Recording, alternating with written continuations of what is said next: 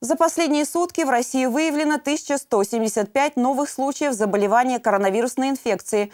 Официально известно, что в стране, по данным на 8 апреля, 8672 зараженных. За время пандемии умерли 63 человека. Ненецкий автономный округ остается в числе четырех регионов, где заболеваний коронавирусной инфекцией не выявлено.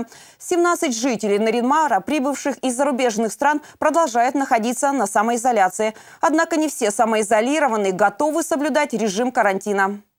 На этой неделе за нарушение режима изоляции из Управления внутренних дел а, по Ненецкому автономному округу поступило три материала. Граждане, нарушившие изоляцию, будут привлечены к административной ответственности по части 2 статьи 6.3 Кодекса об, правонаруш... А, об административных правонарушениях.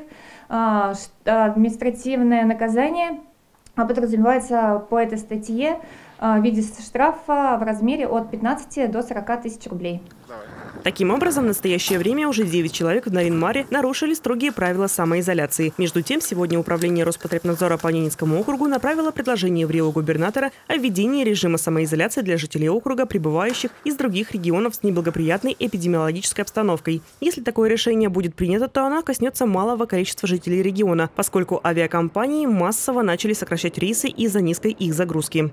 Авиакомпания «Ютейр» по направлению Москва-Нарьян-Мар-Москва отменила рейсы 9, 10, 12, 14, 16, 19, 21, 23, 26, 28 и 30 апреля. Авиакомпания «Смарт Авиа» по направлению Архангельск-Нарьян-Мар-Архангельск отменила рейсы 10, 13, 15, 17, 19, 20 и 27 апреля. По всем вопросам, касающимся возврата денежных средств за билеты, обращаться по номерам телефонов, которые вы видите на своих экранах. Звонок бесплатный.